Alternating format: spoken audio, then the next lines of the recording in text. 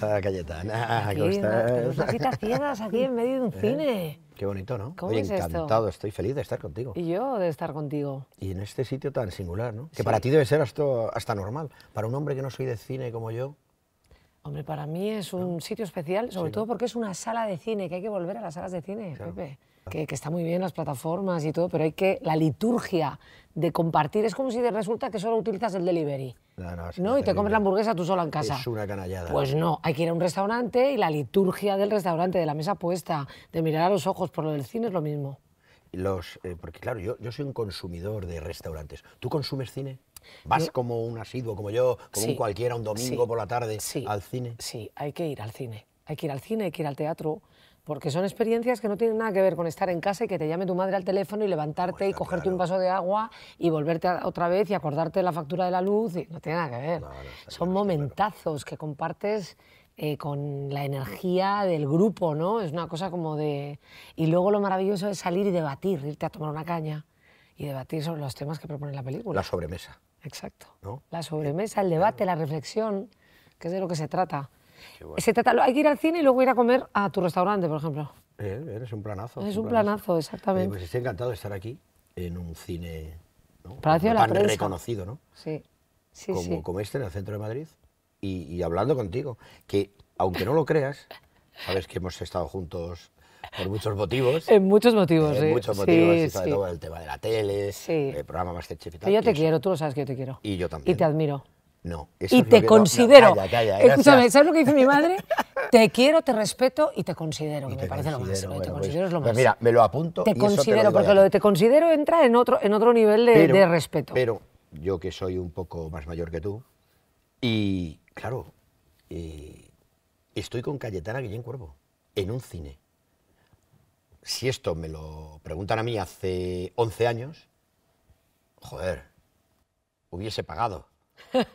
Hoy vengo Ahora gratis. te pago yo a Hoy ti. vengo gratis. Hoy vengo gratis. Ahora te Y- pago yo a ti. No, es verdad. ¿sabes? Si- Una calderilla. Que tú lo sabes. Oye, Cayetana Guillén Cuervo, ¿qué hace un lunes por la mañana cuando no tiene nada que hacer?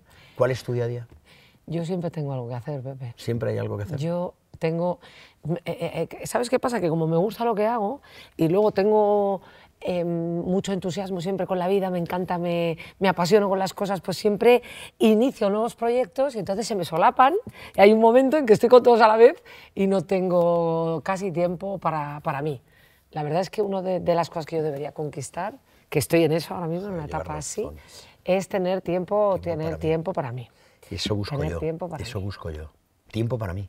Pero luego es verdad que lo pienso y digo, ¿en qué invierto mi tiempo? Es que invierto mi tiempo en también eh, en eso que me gusta mucho, que es currar. Claro. Porque he tenido la suerte, y esto no la tiene todo el mundo, de haber caído en una cocina obligado y decir, Dios mío, Esto me encanta. esto me encanta. Claro. Y luego tengo otro segundo trabajo que se llama la televisión y yo estoy en la tele, pero no soy de la tele porque no es mi medio y lo disfruto tanto que digo, si es Pero que ¿cómo soy- no vas a disfrutar ese programa maravilloso que ha cambiado? suerte. Quiero decir, yo creo que Masterchef, eh, pues es el, fíjate que es un reality, Sí. pero es la manera de hacer televisión de una manera blanca, mostrando historias de superación, contándole al espectador que solamente con esfuerzo se tiene un resultado, que hay que haber, tienes que tener un compromiso contigo mismo, que, o sea, eso es lo que Masterchef cuenta, por eso es un programa familiar y por eso es un programa blanco y con unos valores maravillosos. Por eso, por eso Intentamos que así es sea. que es así. Yo me siento parte de la Intentamos familia de Masterchef, sin duda. Tú eres parte de la Yo he familia. estado en, en- en dos eh, ediciones distintas, una y media. bueno, en dos. En una, dos. en una y media, en una y media, pero luego está como exigente invitada también. qué exigente Ya, eh, qué qué exigente soy. exigente. Sufro, Claro. sufro un huevo, es que sufro no un tienes huevo. por qué. Pero que soy así, pero soy Ya, así ya para bien y sé, para mal. claro, También soy así para, para tener buenos resultados. Sí, sí. Eh, yo, yo voy muy preparada. Porque buscas la excelencia No, siempre. y porque tengo mucho respeto a la gente que me llama. Y cuando a mí me llaman para hacer una función, por ejemplo, eh, yo llego a los ensayos con el texto sabido, con un respeto profundo. Claro, lógico, lógico. Y quiero decir, entiendo. me llaman para cualquier cosa y me siento una privilegiada de que alguien se haya acordado de mí. No, no digo, "Eh, ay, ay", sonándome los mocos, ay, hola, ¿qué tal? No, es que tengo un respeto profundo por la persona que se ha acordado de mí. y por la persona que me ha llamado. O sea, no es solamente una autoexigencia personal, es respeto Hacia los al, demás. al que ha contado conmigo. Te entiendo. A mí, fíjate, yo en la cocina eso no, no lo hubiera pensado nunca, que siempre lo he tenido, por eso curramos tanto, porque hay una gente que viene a comer de una y media a cuatro y yo tengo que darle lo mejor de mí. Y no puedo fallar. Por eso le exijo al equipo con muy buen rollo y me lo exijo a mí que tiene que estar todo muy bien. Pero ¿sabes dónde noté eso? Porque ahí lo tenía controlado, venía de mi casa, había estado siempre y, y eso que tú dices me ha pasado ahora después. Cuando yo entré en la tele, imagínate, un cocinero en la tele que, que las, todas las cámaras estaban, lo que ocurre, tal. Para mí eso es nuevo. Pero yo dije, joder, o sea, tengo que ser el primero en estar aquí, me quiero leer los guiones Claro, más que tío, nadie, así tiene que quiero no fallar. Y no era por mí hacer el ridículo, era por toda esa gente que estaba ahí trabajando que yo digo, o sea, yo, un cocinero de Illescas, y ahí hay un señor que es un redactor, que es el jefe de no sé qué, que es el director, que es el realizador, que lleva 40 años en la televisión. Sí. ¿Quién soy yo aquí para tal? Al contrario, todo lo que pueda ayudarte para no fallaros a vosotros, por el respeto Pues que eso os me pasa a tengo. mí, pues eso me pasa a mí cuando me llaman para un celebrity, voy preparadísima, queriendo demostrar lo máximo al que se ha acordado de mí, a vosotros, y por eso, por eso sufro tanto y por eso me exijo tanto. Un actor es una de las personas más disciplinadas que te cruzas en la vida. Sí, totalmente. Tú lo has visto, porque si no, si tú no tienes esa capacidad de perseverancia, de constancia, ese rigor, tú nunca te subes ahí a hacer el Rey Lear o, No, no, no. Sois o unos las tres hermanas. Profesionales ejemplares. Ejemplares, hay una autoexigencia brutal. Hay, hay una cosa, fíjate, de Miguel Ángel Muñoz, claro. que lo conocí en la misma edición que tú. eh, me acuerdo una vez que me dio un tip muy gracioso porque eh, a lo mejor decíamos, oye, tenéis que hacer garbanzos con gambas. Y había alguien que a lo mejor hacía garbanzos con remolacha o con no sé qué tal. Y, y decía, mira, yo lo haré mejor o peor, pero haré garbanzos con gambas. Porque yo estoy acostumbrado a obedecer.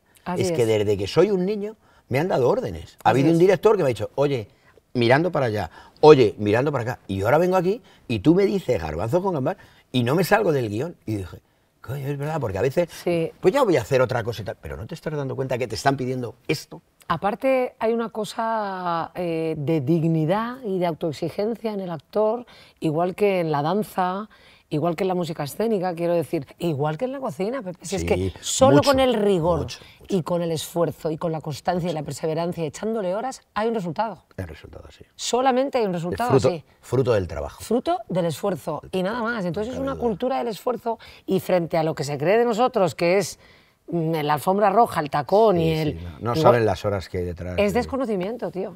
¿Qué, qué- qué- qué te da la vida para sentirte tranquilo, por ejemplo? ¿Tú, ¿De qué manera te vas a dormir tranquilo? ¿Tú te vas un día a dormir y, y- y te sientes tranquilo con qué? Bueno, yo hay con cosas muy básicas. Yo, o- o, yo con ser buena persona, con intentar ser buena persona, ser buena gente. Hombre. Con, sí, sí, pero eso... Pero es que has dicho una cosa que es lo más importante de todo, Pepe. Vale, pero, pero, es que pero es lo esto es lo que más. Pero esto a veces lo perdemos y te metes en tus historias y haces ciertas cosas que a lo mejor no son éticas en muchos sentidos. Y yo, no, no, no. Y en el respeto, que me ha parecido preciosa la palabra, a todos los que están a mi alrededor.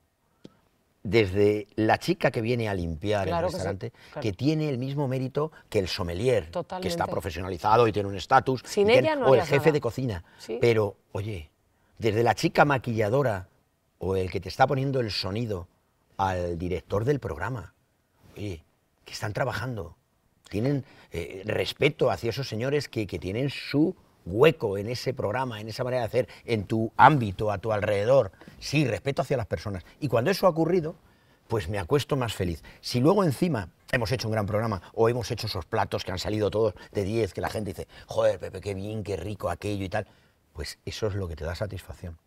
Yo, la ¿no? Verdad dices, es "Ah, que puedo dormir. lo de ser buena gente, te juro que para mí es el valor más grande. Yo hago casting de buena gente a mi alrededor. Tengo una especie de radar así que veo un tóxico a 10 kilómetros. Ya le veo moverse y digo, este fuera, bloqueado. Te lo juro. O sea, te lo prometo, no puedo. Porque además tú tienes que tener una responsabilidad contigo mismo cuando sales de casa de dar la mejor versión de ti a todo el mundo. Porque en tu mano está que la vida de la gente sea mejor o peor. Y eso Sí, es mucha totalmente. responsabilidad, tío. Mucha, sí, a veces, Eso es mucha responsabilidad. No lo pensamos, eh, no salimos de casa diciendo, Pues hay que "Eh, pensarlo. menuda responsabilidad que tengo con todos los que me voy a cruzar. Eh, pues hay que Pero pensarlo, de una sin- forma, sin angustia, pero hay que No, pensarlo. está claro, está claro. Pero de una forma natural nos tiene que salir el sonreír a la gente un poco. A todo el mundo, sonreír. ¿Sabes lo que digo? transmitir buen rollo. Mira, el refuerzo positivo es una herramienta que flipas. la eh, o sea, lo del refuerzo positivo, tú te vas cruzando con la gente y le vas diciendo, sin impostura, lo que te parece bueno de ellos y no te imaginas lo que recibes y lo que provocas en el otro. O sea, tú llegas con cara de puerro a una comida y, está, y, y Sí, sí, ya- ya- es que ya ya, no sabes, sabe igual, ya no sabe como igual. tú llegas No, con cara de porro a una mesa y ya sabes que, que- estás intoxicando a la, a la gente de la... totalmente. Y O al llegas sonriendo y diciendo, oye, qué guapa estás y qué ojos más bonitos tienes, me encanta lo que has cocinado. Y, y, coño, todo cambia. Y esa responsabilidad la tienes que tener. Si tú, por ejemplo, vieras al Pepe, al Pepe de 20 años, cuando tenía 20 años, ¿qué le dirías? Buah, joder. Ah. No, no, no sé si Pepe se habrá equivocado en algo, yo creo que sí, pero eh, es que todas las eh, malas decisiones, que yo creo que no han sido demasiado fuertes, las veces que me he equivocado, las veces que he metido la pata, que sigo metiendo incluso, pues son las veces que me han traído aquí. Estoy aquí porque porque así ha venido mi vida, pero eh, no cambiaría nada. Yo he estado feliz, he sido un tío feliz en un pueblo como Illescas, que era muy pequeño, donde de niño jugabas allí en la plaza con mis amigos, a las bolas, a las chapas, y no había tantos coches, y, y era todo que nos conocíamos todos. Luego vas creciendo, el salir, alternar, que me ha gustado mucho la noche, tomar copas, no te imaginas. Y no he hecho tampoco ninguna canallada, pero he alternado mucho. Basta que estabas dentro de la hostelería, también todos tus amigos esos de la hostelería, con ese punto golfo, pero simpático, agradable. Me ha encantado disfrutarlo, pero siempre cuando he tenido que he sido serio hasta para el cachondeo, porque cuando sabía que había que currar, que era siempre, tenía tiempo para una cosa y para otra. Y la vida siempre he tenido mucha suerte, mucha suerte. He estado en el momento justo a la hora justa y he tenido mucha suerte. Sí, yo me acuerdo, fíjate, que con 17 años me puse a trabajar en el restaurante. Con mi hermano decidimos, mi hermano estaba en COU y yo, segundo de BUP, iba a pasar a tercero, pero tampoco, eh, eh, mis padres tampoco nunca eh, nos habían atacado para que estudiásemos, ¿no? Y, yo dije, "Va, no, encuentro una salida estudiando, no encuentro la motivación estudiando, no veía un futuro, ¿qué querría ser? ¿Médico, abogado, tal? Cuando había estado viviendo la hostelería tan de cerca que yo hacía los deberes en la mesa de la cocina de mi casa con los olores a perdices cabechada. Dije a mi hermano, yo, "Ah, venga, pues nos ponemos a trabajar, ¿no? Y, y, joder, aquello, no sé, nos llevó a, a, bueno, pues a, a vivir esa vida que hemos querido llevar, que hemos hecho. Tú decides ser actriz, te pasa lo que a mí, que porque me había criado en una cocina, no tenía otra salida. La hija de unos reconocidos actores no podía ser ingeniera aeronáutica. Pues es que yo eh, pensaba que los adultos se dedicaban a- al arte directamente. Yo, yo- me- mi casa No estaba había otro llena. oficio. Claro, mi casa Era estaba lleno, en mi casa estaba Fernán Gómez y Adolfo Marsillac y un pintor y un escritor y un... Yo hacía los deberes en los camerinos, tomábamos las uvas en, en el escenario, porque entonces se, se, tomaban las uvas en el escenario y se juntaban los hijos de las familias de los actores. No sé. Oye, que Cayetana quiere ser ingeniera agrónoma. No. Claro, es que, Es que no, no- no guarda relación. No sé, no, no, nunca se planteó. A mí me gustaba muchísimo escribir, siempre me ¿Ah, gustó mucho escribir, leer. Yo leí, mm, me bebía los libros de niña y me, be- me bebía los libros más de, de- de un nivel más adulto, porque mi padre me pasaba libros como El péndulo de Foucault o a Truman Capote o con, con muy poca edad. Y yo, como mi padre era, pues por no decepcionarle, intentaba entender aquello para darle una visión del libro. Que, y eso me hizo ponerme mucho la pila siempre, me gustaba mucho escribir. Y estudié periodismo porque me gustaba escribir, que luego... Bueno, pero ha servido para tu carrera. Sí, me ha servido para mi claro. activismo cultural, sobre todo para mi periodismo cultural, sí, sí. claro. Pero en mi casa, es que no sé, era como si los adultos se dedicaran a esto y yo... Esto, sí. Mm. Como si no hubiera otra cosa. Como si no hubiera otra cosa, la verdad. A mí me hicieron mayor de edad con 16 años, Claro. ante notario, porque mi- me veían tan libre que me dijeron, mira, guapa, te vamos a hacer mayor de edad. ¿Cómo era bajo tu cómo- cómo era responsabilidad. Cayetana de- cómo era Cayetana de joven? ¿Eh? ¿Cómo era Y ya Cayetana de joven? La lías parda. ¿Eh? Pero que no Muy tengamos madura. responsabilidad Muy penal. madura. Yo siempre he sido muy madura. Yo siempre he sido muy responsable. Muy responsable y muy gamberra a la vez. Que lo sigo siendo. mi- esa es mi definición. Lo sé, lo sé. Yo soy muy responsable, muy trabajadora y muy gamberra a la vez. A mí no me para todo, quita claro. mi parte gamberra y de salir de marcha y tal nadie, porque es mi punch. O sea, te quiero decir, a mí me encierras y me dices, no, pues ya, mira, de, a las nueve en casa. Yo eso lo he perdido, yo eso lo he perdido. ¿En serio? Sí, sí, yo me he hecho mayor para eso. Y además me alegro. Sí, sí, sí, sí. Sí, ya no puedo con la noche. Ya, ¿En serio? no, no, sí, sí. Yo no te digo mucha noche, pero noche No, no, de vez en cuando sí, La poca noche ya me sabe demasiado. Ah, sí, ¿eh? Sí, sí, yo me quemé rápido. Llegué a una edad que dije, "Eh, ¿qué pinto aquí? Y ¿sabes lo que pasa? Que también el rollo este de mi trabajo, al ir eh, escalando, eh, y- ir entendiendo más lo que ocurre en una cocina, en la hostelería, en la bebida, en la cultura del vino y tal, no hay cosa que más me guste que abrir una botella de vino. Sí, hombre, Entonces eso me parece como muy de compartir. Ya no me parece de estar en una noche, tomar, eh, no lo saboreo igual. Y ya la noche, el ruido, el no sé qué tal, digo, eh, ¿qué pinto aquí? Ya eh, estoy mayor, yo me he hecho mayor. ¿Qué te hace ser? Porque yo, mm, ahora que, que a lo mejor antes no lo pensaba nunca, jamás hubiese pensado que yo quisiera ser act- actor, que no lo quiero ser, por supuesto, pero valoro más al estar entre actores, gracias a Masterchef Celebrity y tal. Y entonces digo, ¿qué, qué es lo que más te gusta de tu oficio? Eh, interpretar a alguien que no tiene nada que ver contigo, eh, eh, ¿qué buscas ahí cuando estás ahí arriba y eh, que el público disfrute con, tú eres la que tienes que, no lo sé, ¿qué te hace meterte en un personaje, vivirlo? Eh, eh, ¿Qué te gusta? ¿Qué, qué- qué- qué buscas en, en eso? No sé si me estoy explicando porque es muy difícil. sí, me gusta, eh, eh, tengo un, un respeto enorme al hecho artístico encima del escenario, a lo que eso provoca. Quiero decir, eh, está la vida práctica y luego está el arte, la cultura, que es lo que nos hace reflexionar, lo que nos da vuelo, un vuelo distinto al ser humano, lo que, lo que te hace eh, que, que el corazón se acelere, lo que te hace entenderte a ti mismo, lo que te hace estar menos solo. Quiero decir, un ser humano que escucha un texto de Juan Mayorga. ¿Escuchaste el- su discurso de cuando recibió el Princesa de Asturias de las Artes? Bueno, yo casi me muero del llanto, porque es exactamente eso lo que da sentido a mi vida, ¿no? Es la palabra, el poder trasladar al la escenario palabra. la palabra que transforma al espectador, que le cambia el punto de vista, que le completa, que le hace sentirse menos solo, que le hace entender su, su desazón, su diferencia, que le hace entenderse a sí mismo. Quiero decir, los clásicos son clásicos porque hablan de ti mil años después. Resulta que está Séneca hablando de ti. Le pasaba lo mismo. Y entonces, pues, a Lope de Vega, a Cervantes, está hablando de ti. Dices, ostras, por eso es un clásico. Porque al final hay temas recurrentes en el ser humano, en el alma del ser humano, en el corazón del ser humano, que siempre son los mismos. Podemos evolucionar en muchas cosas, Sí, pero hay una sí, cosa básica que no. que no van a cambiar. Que no van a cambiar y, que te- y entonces te sientes menos solo con esa reflexión, con los poemas, con la literatura, con la música. ¿Sabes con qué tiene mucho que ver mi proceso de búsqueda de un personaje? Con tu proceso, proceso de investigación de la cocina. Buscando un plato, buscando, Sí, sí, una, no, no. buscando Y- y hacer... No, no sabes por qué. No sabes por qué. Yo tuve la suerte de cuando empezaba en la cocina que, que, claro, e- e- entré de lleno en una cocina sin tener ni idea, aprendiendo de mi madre lo básico, pero yo tenía necesidad de aprender más.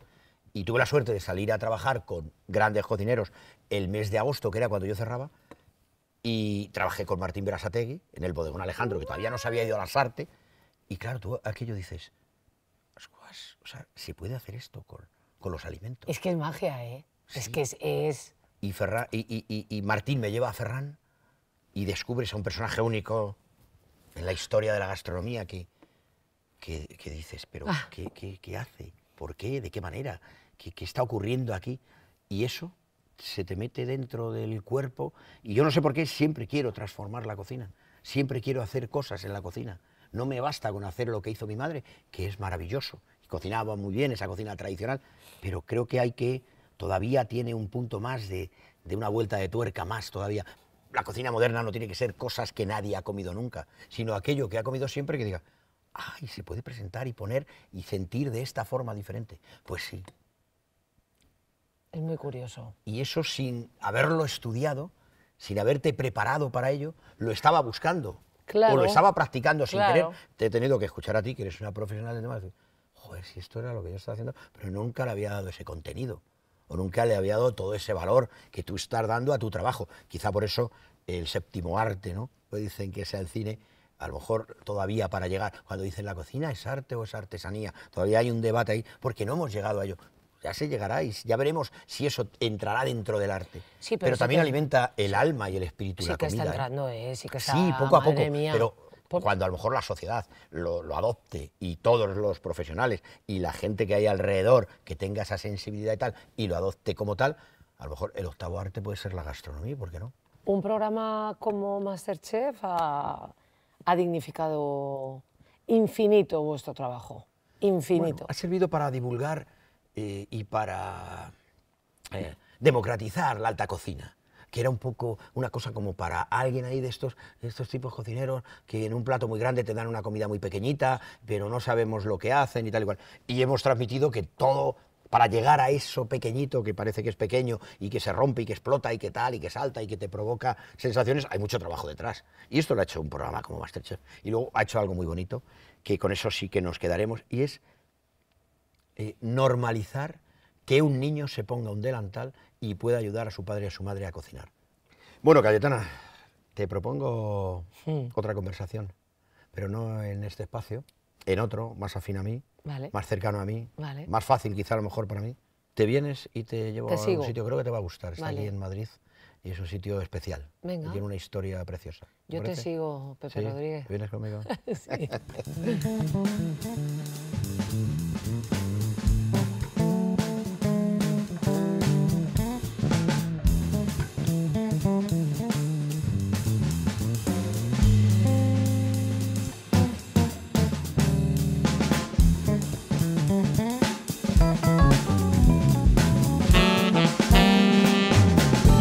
Bueno, Cayetana, del cine, del teatro, a una bodega. Sí. Un restaurante en el centro de Madrid, curioso, muy bonito, con una historia preciosa que me han estado contando así rápidamente. No había estado, luego lo probaremos, ¿eh? a ver qué tal se come. También, esto también es muy importante en los restaurantes.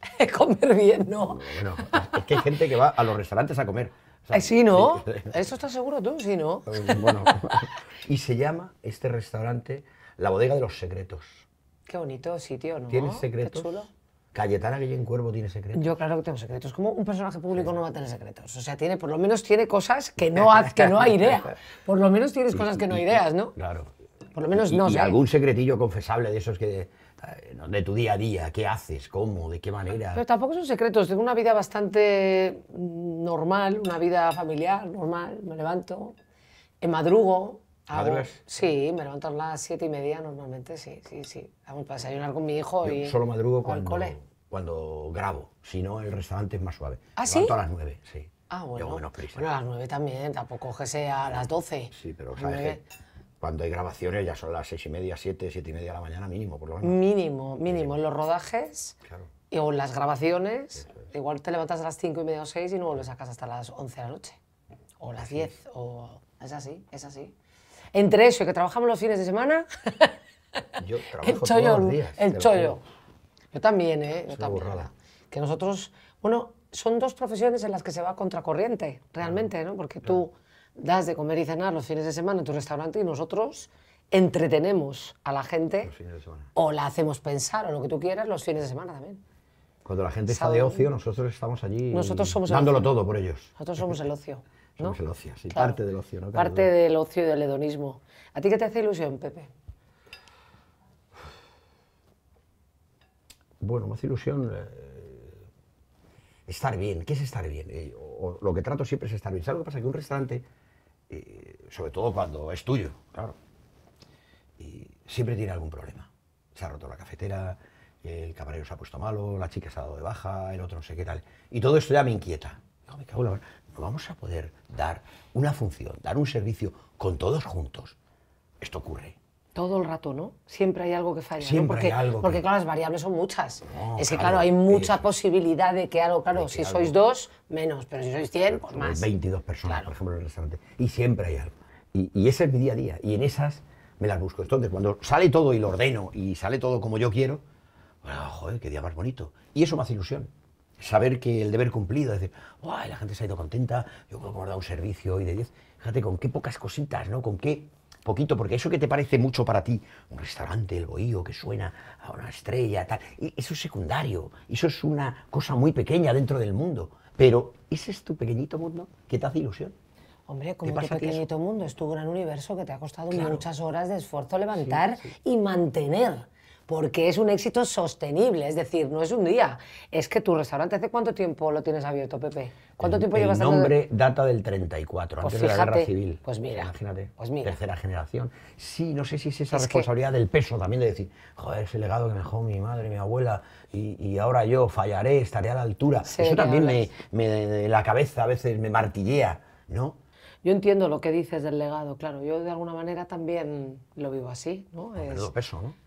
Para mí no es un peso, para mí es un orgullo enorme. Yo no lo he vivido nunca como un ¿No, peso. no lo has visto nunca como un peso? No. El apellido. No lo he visto nunca como un peso, la verdad. Siempre me ha. y en tu caso entran las comparaciones, no tiene por qué, no. No me ha pasado, la verdad. Eh, empecé a trabajar con 15 años y no he parado nunca. Fíjate. Nunca. Pero ¿sabes por qué también? Porque he diversificado mi, mi apuesta profesional. Seguramente si hubiera hecho solo una cosa, hubiera tenido parones. Pero quizá porque vi una familia en la que mis padres tenían mucha inestabilidad profesional, yo dije, yo esto no lo quiero. Y yo he hecho muchas cosas a la vez y si no hago una cosa, hago la otra. Para ¿Qué tener pasa? Que se- estabilidad. que se- Buscando para estabilidad. tener siempre, siempre trabajo y que no, no depender yo de nadie, de una llamada de teléfono. Yo genero el trabajo, lo genero, lo genero. ¿Y qué pasa? Que a veces se me superpone Claro, claro. y me pasa siempre que estoy con 70 frentes a la vez. 70 no, pero 7 sí. ¿Y cómo los controlas? ¿Cómo, cómo los dosificas? ¿Qué, ¿Cómo te mentalizas? ¿Cómo haces para llegar a ellos a todos bien? Pues porque soy muy organizada. Sí. Soy organizada, Es que no hay otra disciplinada. forma, No hay otra forma. otra fórmula. Compartimentos estancos, ¿no? Yo digo, ahora estoy con esto. Estoy ahora escribiendo el guion de este programa. Ahora estoy con esto, clac. Ahora estoy con esto, clock. Y entonces esos compartimentos estancos. Hay veces, eh, hombre, claro, con el móvil estoy siempre dale que te pego, pero porque es mi oficina. El móvil es mi oficina, ese Entiendo. cacharrito es mi oficina, claro.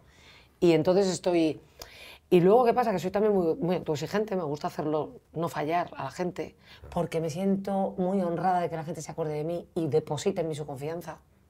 De ahí la autoexigencia. Sí, sí. Si tú depositas en mí tu confianza, yo no te quiero defraudar. ¿Qué pasa con la familia, con este ritmo que llevamos y que tú haces lo que te gusta y eso te cuesta un sacrificio enorme? ¿La balanza? Familia, la familia, es importante que tu familia precisamente pues comprenda, apuntale, respete. ¿Y tú sujete. comprendes? Yo comprendo más de lo que tendría que comprender. es que yo tengo una capacidad, yo no me enfado aunque me pongas, no sé cómo decirte. Sí, sí, Demasiado. pero, pero, eh, yo que me enfado Demasiado. con mi mujer, con mis hijos y tal, eh, a veces eh, soy un punto egoísta, ¿vale? Fíjate, aquí me azoto y, y digo, joder, vamos a ver, ¿quién, ¿quién pone más en esta balanza? Y por ella. Yo a mi mujer la tengo que valorar en ese sentido, que, no, que lo hago pocas veces, pues lo digo aquí públicamente y lo digo delante de ti. Sí, sí, porque eh, yo sacrifico muchas cosas por hacer lo que me gusta. ¿Y ella? ¿Qué es lo que le gusta a ella? Le he preguntado. Porque ella ¿Le siempre perdona preguntado? mis ausencias porque sabe que estoy haciendo eso que me gusta. El restaurante, grabar. Es verdad que nos da muchas... Pero, pero ella sacrifica otra serie de cosas. Está sola la gran mayoría del tiempo y mis hijos también. Y todo porque él haga lo que le gusta. Eh, No solamente eso, ¿eh? No te quites es, valor, más, es ¿eh? más importante no te mi trabajo valor, ¿eh? y lo que yo hago que lo que hace ella. No te quites valor tampoco, ¿eh? Porque tú también estás posibilitando que ellos tengan la vida que tienen por, tus, por tu esfuerzo y tu ansiedad y tus angustias y tu tal. Perdona que haga de Pepito Grillo, Pepe, pero no te quites valor tampoco. Es verdad que ellos están comprendiendo y apuntalando. Pero qué importante es también, ¿no? Es muy importante, y tú se lo- pero, pero no te quites tu valor. No, no, no le quiero quitar valor. Ya sé el peso que pueda tener, No te lo valor. importante que puede ser, lo que haga, todo lo que eh, gestiono, hago y tal. Sí, sí, pero. mm, Porque la vida, ¿qué es? Eso y muchas más cosas. Seguramente. Claro. A veces piensas que te Eh, pierdes algo. Yo, bueno, yo, te- yo tengo una maternidad llena, llena, llena de culpa. Pero yo me he sentido culpable, yo he estado con el teatro lleno de gira, llamar a mi padre llorando. Pero ¿cómo puedes llamarme llorando con el teatro lleno? Porque no estoy con mi hijo. No, hija, pero es que tienes el teatro lleno. el teatro. Yo me he sentido culpable toda la vida, toda la vida. ¿Pero y qué hago? Pero sí que es verdad que mis padres, que han faltado mucho de casa, antes las giras no eran de fines de semana, eran de meses, ¿eh? Eh, Yo tengo una hermana mayor que se ha encargado de todo. Eh, que ha afrontado esa, de- esa hacía de padres, responsabilidad. de padres, y eso a ella sí que le ha generado. Claro, Eh, claro. Pero yo soy una niña feliz y yo tengo a mis padres colocados aquí a los dos. No tengo ningún trauma, ni ninguna falta, ausencia afectiva, ni nada de nada. Nada de nada. Ni siquiera, a mí no me pesa el Guillén Cuervo de ninguna manera. Es más, ya sabes que lo uní legalmente con un guion y es Guillén Cuervo. Y, por, por, en honor a ellos, a que no se pudiera separar a todo lo que ellos han hecho, porque ellos fueron una generación de actores activistas culturales en un momento muy difícil, en plena dictadura, que estrenaron a los autores prohibidos. Quiero decir, no, ahora das una patada y salen 200.000 actores. Ahora es muy fácil, pero antes sí. había 40. Ya, efectivamente. Y posicionarse o estar Y en posicionarse. un sitio en un determinadas Exacto, formas y sí. maneras. Y tenían claro. un compromiso enorme y todo eso yo lo he ido, lo he ido mamando, es mi legado y por eso he podido asumir la presidencia de la Academia de las Artes Escénicas de España. Un poco por ese legado me he sentido con la capacidad de, de asumir esa responsabilidad, de representar a la excelencia del hecho artístico en un escenario, que no es fácil. Estás hablando de lo más importante de... Totalmente. ¿Y cómo se muy lleva delicada, ese peso? ¿eh? ¿Cómo se lleva eso? Yo represento a todas las disciplinas artísticas que tienen que ver con el teatro de texto y teatro musical, danza, música escénica, que es ópera y zarzuela y circo. Tú imagínate lo que eso conlleva, Madre mía. ¿vale? A toda esa gente. Y lo que hago es dignificar lo que somos ante las instituciones y ante el mundo entero. O sea, quiero decir, ¿y para eso qué es? Grupos de trabajo, junta directiva, muchísimo trabajo eh, a pie de calle, con las instituciones, en las escuelas, en todo.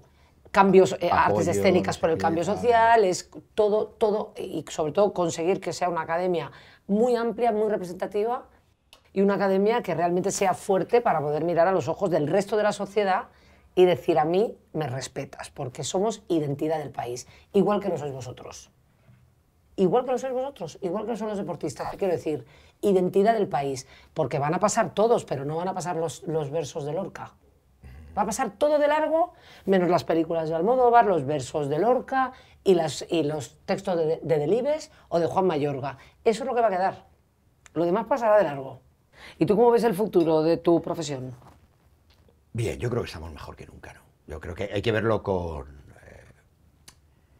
eh, mirando atrás, eh, trabajo las mismas horas o más que trabajo mi madre, con lo cual no sé si he avanzado mucho, pero, jolín, cómo hemos dignificado nuestra profesión.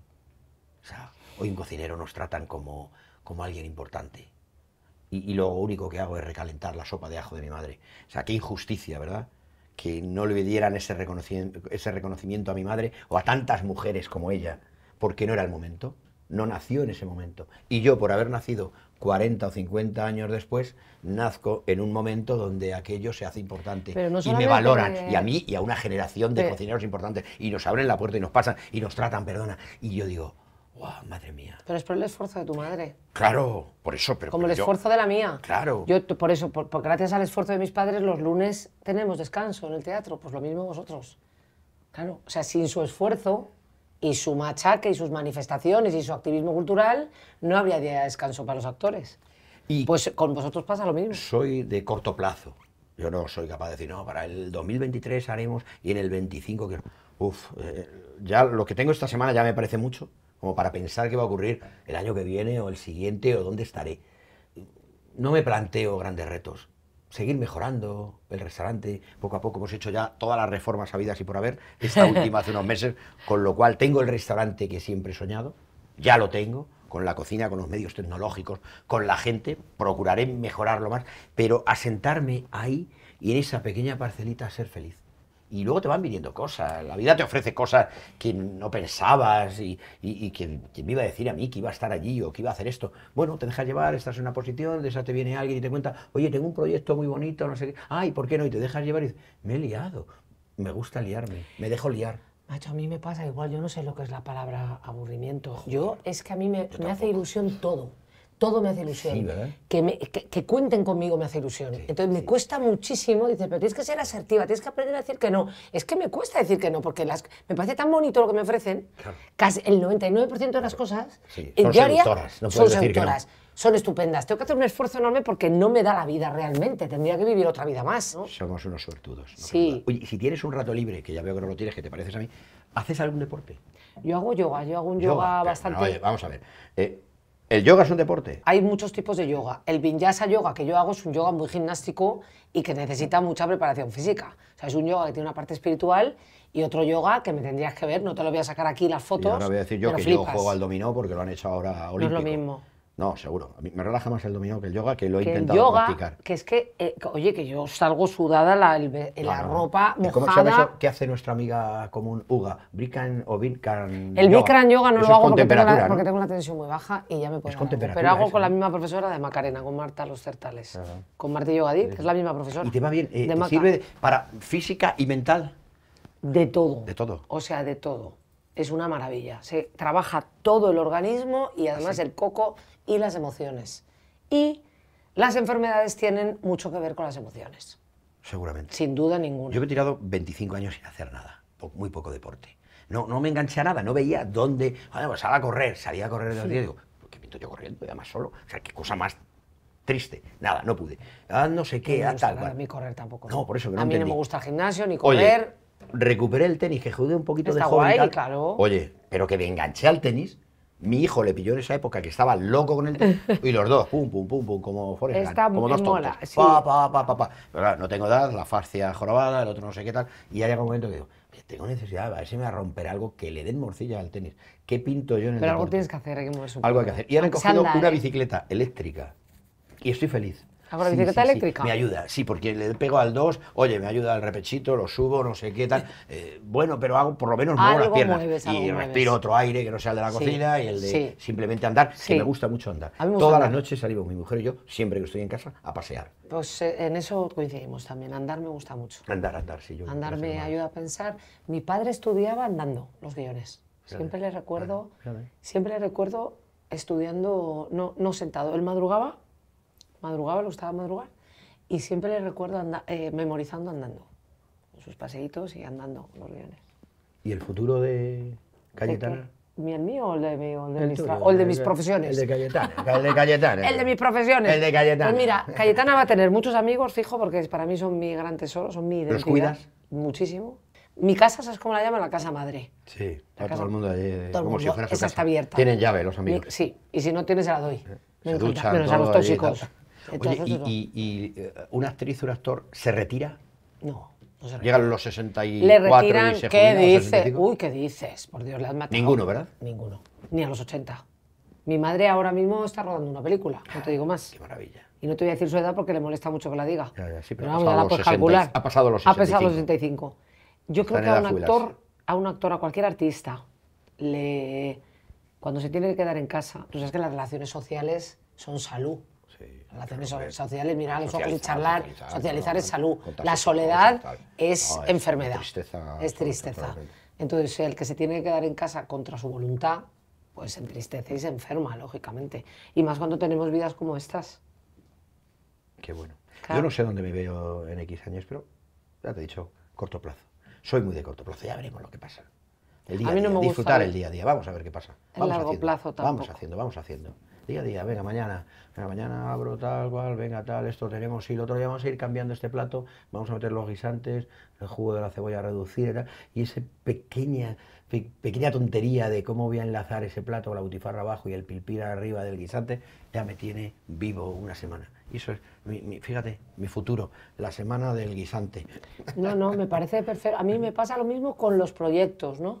Cosas Sí, pequeñas, yo. Sí, si voy a, a hacer tal función o voy a hacer tal cosa, eso, eso, mi vida se, se articula por mis trabajos, que forman parte de mi alma, como tú un plato, ¿no? O sea, realmente para mí no es un trabajo, para mí forma parte de mi vida, de mi latido, porque, porque mi trabajo es mi, mi- mi- mi forma de vida. Y, yo- y otra cosa me preguntan mucho, oye, esto de Masterchef está durando mucho, ¿no? ¿Y ¿Le queda mucho a Masterchef? Digo, es que ni lo pienso. O sea, yo ya he estado más de lo que debía, porque no es mi mundo, llevo 10 años. O sea, y cuando se acabe, ay, y no, y, pues cuando se acabe, se ha acabado, me vuelvo a mi cocinita ya todos los días, en vez de día sí, día no, y Santas Pascuas, y me quedo en mi pueblo más feliz y más ancho que la leche. Bueno, Cayetana, hemos hablado casi de todo, ¿verdad? Pues sí, tendremos que cenar, ¿no? estamos ¿Has en un que cenar? Sí, sí, sí, por supuesto. Yo no me voy de aquí sin cenar Ah, contigo. Estás tomando un vinito. Voy a ponerme la servilleta. Yo lo de mi que madre, quería- que no me he puesto la No, servilleta. claro, ya te he visto En un restaurante. que no sabías qué hacer. No, no, estoy angustiada, Claro. angustiada. Yo que soy un maniático, claro, como no puede ser, y un deformado de la gastronomía, me gusta la gente que come de todo. y A mí- que yo como de no todo. tiene ningún problema. No tengo Digo, ningún problema. sácame lo que quieras. Eso me gusta mucho. A mí me encanta. Yo cuando me ay, yo es que, bueno, la casquería, el, No. el pescado, Yo como lo de poco todo. hecho y lo crudo. Como de todo. Te voy a contar ¿Pero por una- un secreto. Mira, me cuesta la cebolla cruda y el ajo, pero por deformación. Te voy a decir tampoco, por vale. qué. Porque los actores en los caterings, cuando estamos rodando, o si haces una función de teatro, el compañero que come cebolla cruda es un maleducado. Porque no piensa en ti, Bueno, claro. porque te estás hablando Y- y- aquí. y más si si te te, tiene tienes que besar, besar, imagínate. cuento. es por eso, y por deformación profesional, la cebolla cruda la intento evitar. Te diré que sin ser actor no como cebolla cruda ni ajo, o sea que tenga que besar a alguien. Es que puede pasar que No. tengas que besar a alguien. Calle, no sé cómo acabará la cena, pero no pienso comer. No pienso besarte. Ni cebolla. Pido... Sí, camarero, por favor. Gracias, cuando pueda.